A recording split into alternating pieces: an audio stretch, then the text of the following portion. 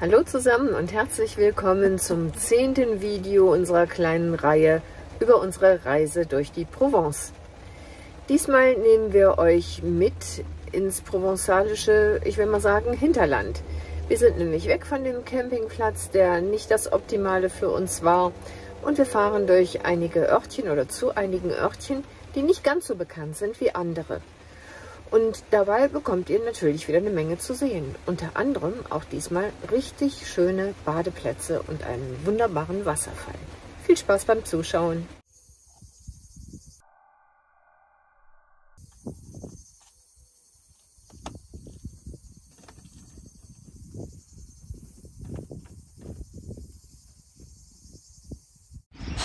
Wir sind in dem kleinen Örtchen Ob gelandet. A-U-P-S schreibt man das. Und es ist richtig hübsch hier. Kommt mal mit. Ist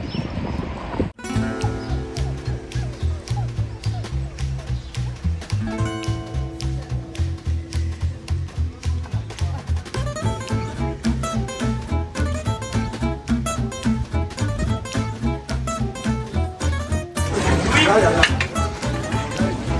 bisschen kompliziert. Aber Volker managt das.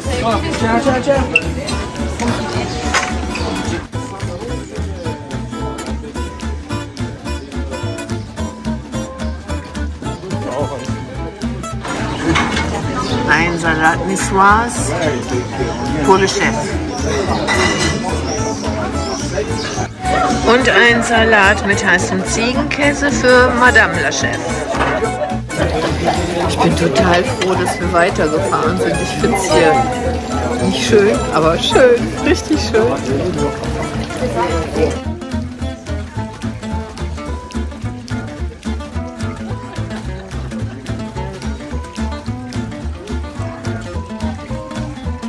Das ist ein Mobile, was? Habt ihr noch nie gesehen. Ich auch nicht.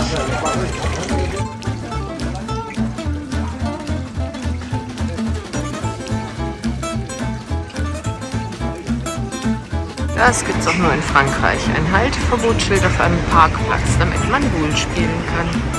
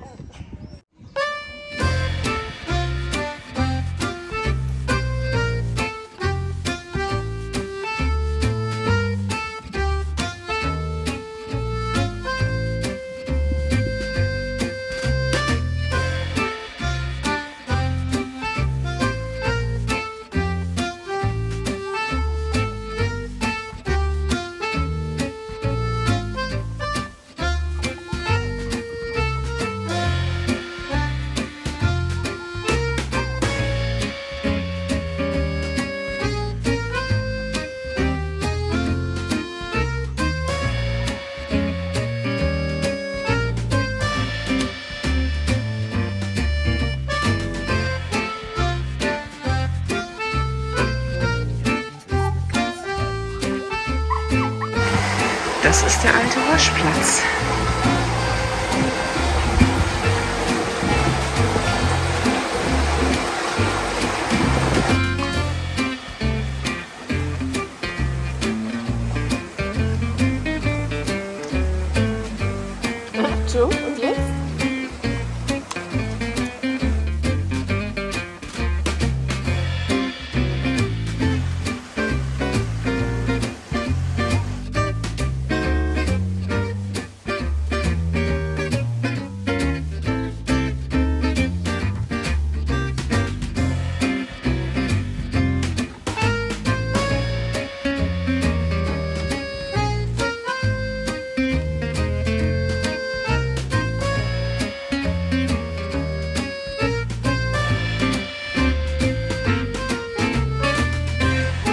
Haben wir einen netten Platz gefunden, wo wir stehen können.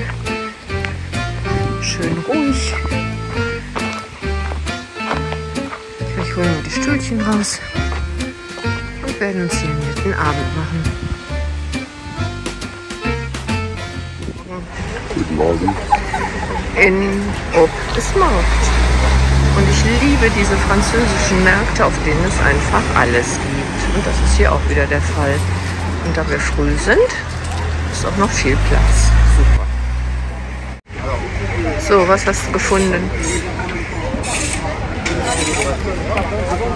Ein Schiffchen für Brot. Da raus. Na dann.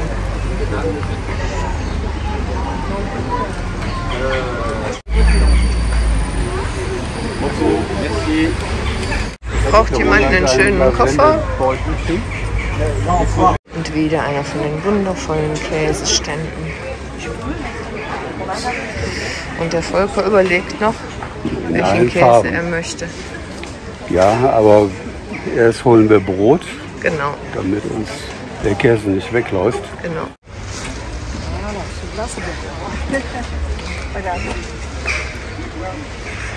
Sudah intekap. Das ist nett. Sudah midin Itali. Salabun kal kain midin Itali. Ich weiß nicht, ob der die noch Sonne abhält.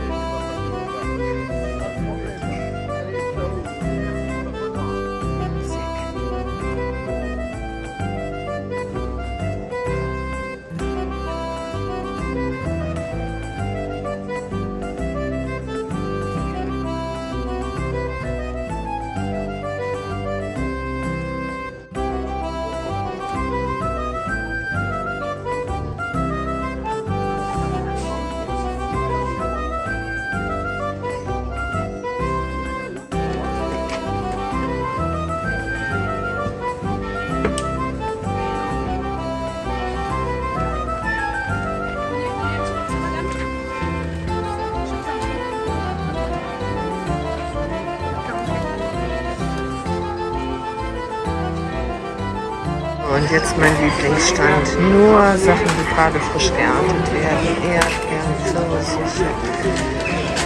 Alles leckere. Und die tollen Tomaten mal wieder. Oh, die liebe ich. Wir sind weitergefahren nach Sillon-la-Cascade. Da ist ein kleiner Fluss, der in mehreren Stufen und an einer Stelle 40 Meter nach unten fallen. Hinter diesem Zaun befindet sich das Flüsschen.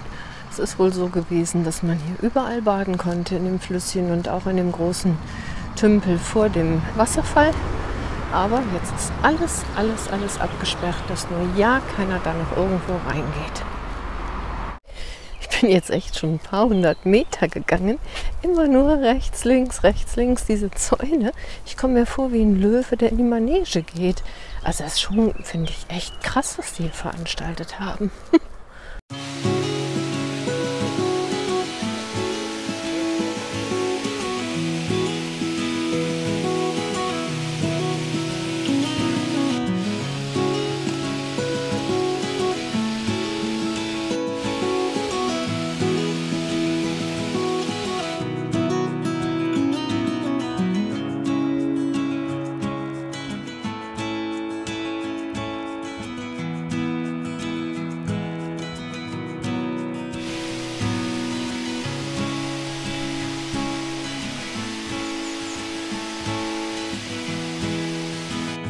Schon echt schön, also es lohnt sich schon hier runterzukommen, finde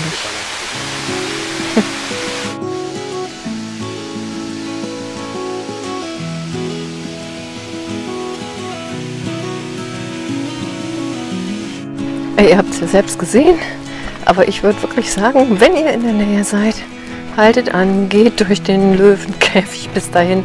Ich finde ihn wirklich außergewöhnlich schön von der Farbe her und mit den Felsen. Also im Hochsommer oder Herbst weiß ich nicht, ob dann da noch Wasser ist, aber ich finde es schon richtig schön. Nächste Station ist der schöne Badeplatz von Salern. Leider, leider, leider darf ein Hund nicht mit dahin. Heißt, ich werde alleine schnell eine Runde in dem schönen kühlen Nass drehen und Volker wird mit dem Hund warten. Schade. Hier hätte man sich länger aufhalten können.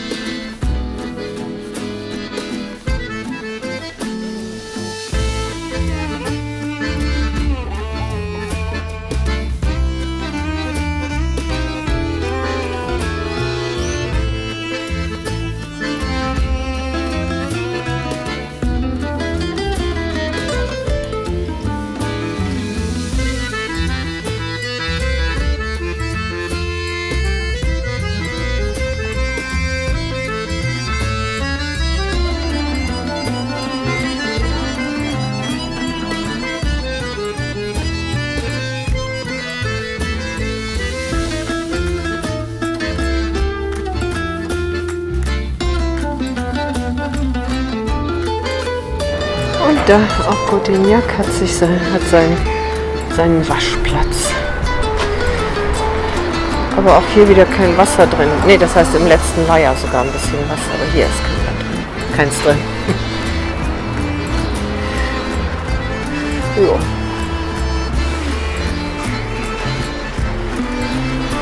Aber der Joe, der will gucken, ob es welches gibt, ne? Nee, leider nicht, Schatzi.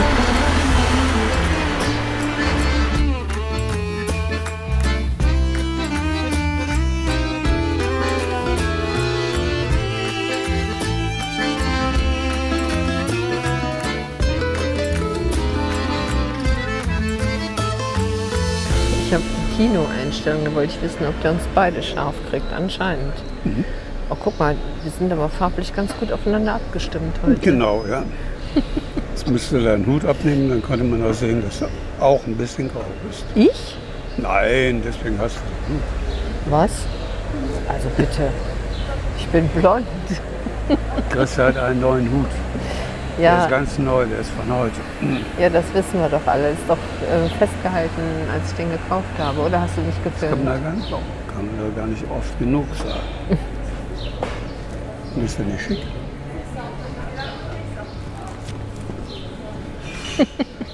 Früher bei den Pfadfindern hatte man immer solche Hüte, die Pfadfinderhüte, mit denen konnte man auch Wasser holen.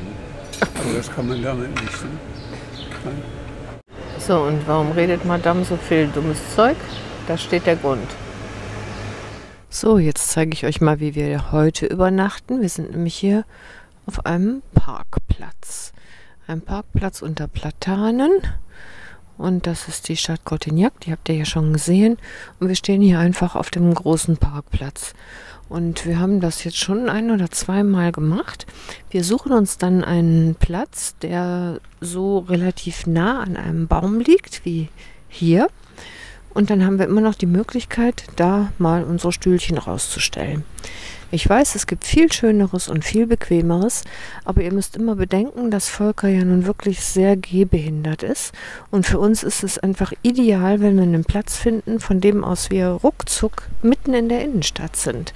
Also oder im Innenstädtchen. Auf jeden Fall da, wo die Restaurants sind und die Geschäfte sind und wo es was zu sehen gibt. Und deswegen wählen wir auch immer wieder mal solche Plätze. Das ist hier in Frankreich überhaupt kein Problem. Das kann man ohne weiteres machen. Wenn nicht ein Verbotsschild dasteht, ist es okay. Und hier gibt keins und deswegen stehen wir hier ganz prima. Ja, ihr könntet natürlich einwenden, man kann hier auf so einen Parkplatz fahren und dann weiterfahren und sich irgendwo nett hinstellen. Aber da komme ich dann ins Spiel. Ihr wisst ja vielleicht, dass ich wirklich immer fahre. Ich fahre alle Strecken, ich, ich plane alles, ich fahre die Strecken und es liegt alles in meiner Zuständigkeit. Und dann finde ich es einfach auch schön, wenn ich in einem Ort bin, wenn ich dann mal ein Glas Wein trinken kann oder vielleicht auch mal zwei. Und ähm, dann möchte ich danach nicht mehr fahren. Also deswegen ähm, ist das für Volker und mich so eine gute Lösung.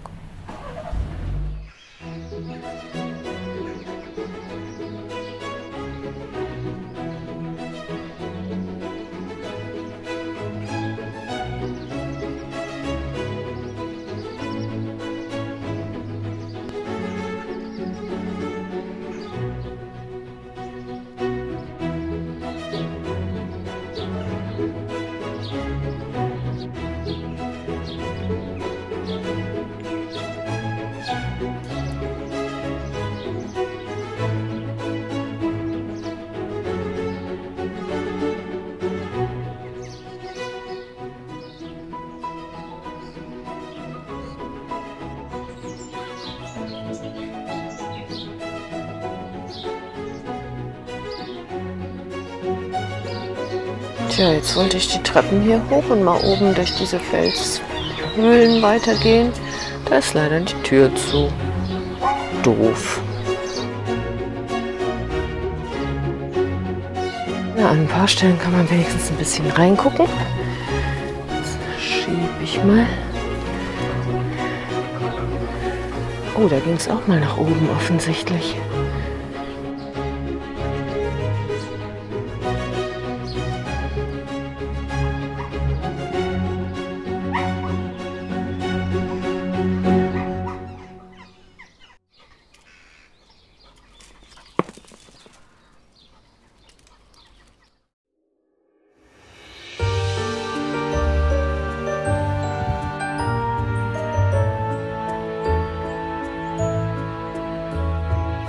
Also diese Badestelle hier in Carces, oder wie man es ausspricht, ich markiere es wieder in der Karte, die ist es wirklich wert. Also nicht ein Riesenumweg, aber wenn man hier vorbeikommt, unbedingt hier unten in den Fluss springen. Es ist jetzt Sonntagmorgen, gleich 11 Uhr und jetzt langsam füllt es sich, aber vorher war es ein Traum. Und in der Woche bestimmt auch.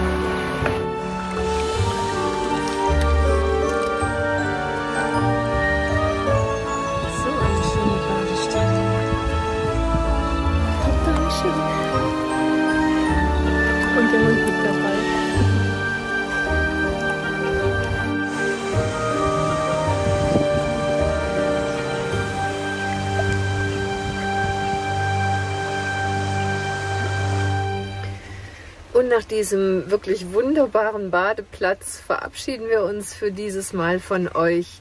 Wir hoffen, es hat euch Spaß gemacht. Wenn ja, lasst uns vielleicht mal ein Abo da oder auch einen Daumen nach oben, falls ihr das noch nicht gemacht habt. Und ja, wir freuen uns drauf, wenn ihr beim nächsten Mal wieder mit uns unterwegs seid. Wir bleiben nämlich noch ein bisschen im Hinterland der Provence. Und ja, ihr könnt dann noch ein paar Örtchen kennenlernen, die ihr vielleicht noch nicht kennt. Wir sehen uns. Bis zum nächsten Mal. Tschüss.